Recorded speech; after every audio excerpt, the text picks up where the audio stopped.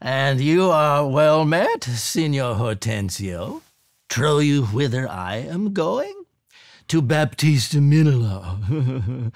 I promise to inquire carefully about a schoolmaster for the fair Bianca, and by good fortune I have lighted well on this young man for learning and behavior fit for her turn, well read in poetry and uh, uh, other books, good ones, I warrant you.